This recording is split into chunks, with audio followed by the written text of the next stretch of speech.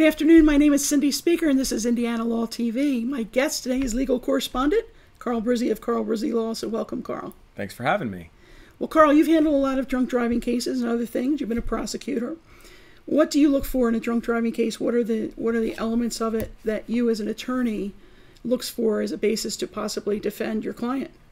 Well, as you said, I was the, the prosecutor for Indianapolis for, for eight for eight years and um, prosecuted uh, many drunk driving cases, defended many drunk driving cases, and the first thing that we ought to say about drunk driving it is it is easily the most preventable crime that there is. Um, so don't do it. You can avoid it if you're going to drink. Take a cab. Everybody's got an Uber app on their phone um, because not only is it uh, dangerous for you and others, it's also very expensive um, for all sorts of reasons.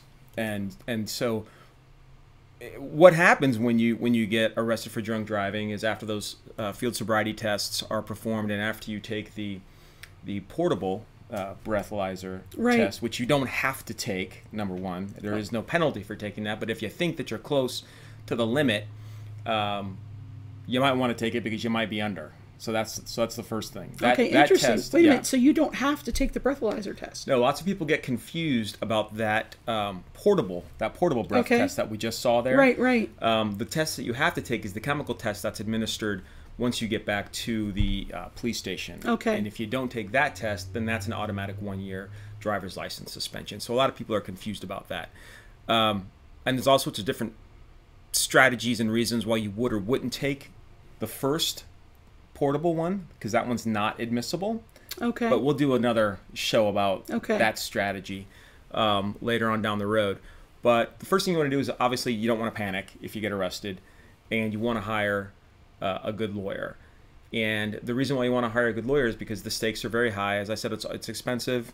Um, you don't want that on your on your record. It affects some people's employment. Right. Right. And so you want to do everything you can to help level the playing field when the government's coming after you. Yeah, yeah.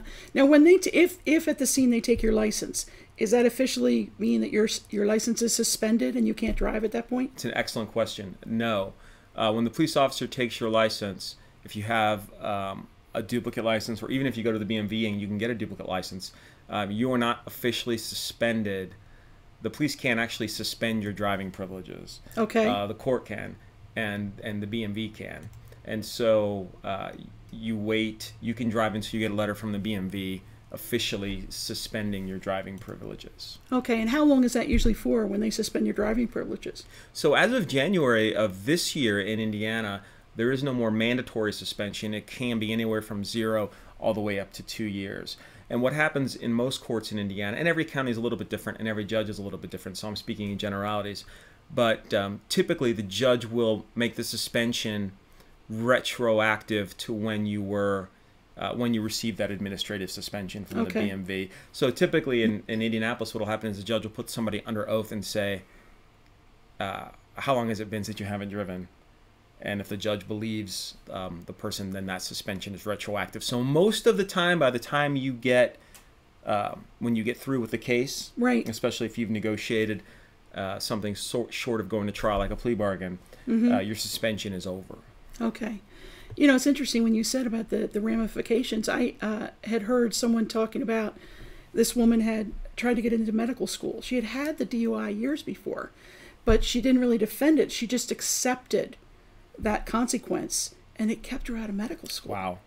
Yeah. I, I couldn't believe that. But well, she, she had no idea that what the consequences are and how that could affect her future. Yeah, and you have no idea how other people are going to react, right? Yeah. So if you have a pool of you know 25 candidates all um, equally qualified and you're looking for ways or reasons to sure call the herd yeah you yeah. can just use that and say well so that person's got a prior conviction Absolutely. for operating while intoxicated so yeah. you have to take it very seriously and yeah. I know sometimes people think of these these such an open and shut case because they've got the tests. Well, the tests aren't always right. The science isn't always right. The people giving the test aren't always right.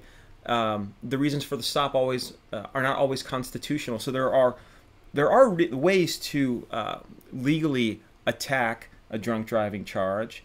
And the reason why you hire a lawyer is you want to go through that analysis with somebody who knows what they're doing so that you, as a consumer, uh, can make a, uh, a judgment Right. about how you want to proceed with the case. Is it defendable, or do we need to try and negotiate the best possible deal to mitigate the negative consequences? Yeah, yeah. Timely topic. It's um, you know, it's one of those things people have been, you know, maybe driving buggies and riding horses, you know, Yeah. while intoxicated, you know, 150, yes. 200 years ago, and now it's cars, yes. and maybe in 100 years it'll be spaceships, but maybe Right. stuff will be able to drive itself with Google, Yeah. right? And then you won't have to worry Right. about it. Right. uh, That's going to open a whole new can of worms when they get to Google driven cars and things. You just go to sleep, take a nap. Right. Maybe there'll be a martini shaker actually in the car because you're not having to drive it. Well, thank you so much for your time you. today. This is Cindy Speaker for Indiana Law TV.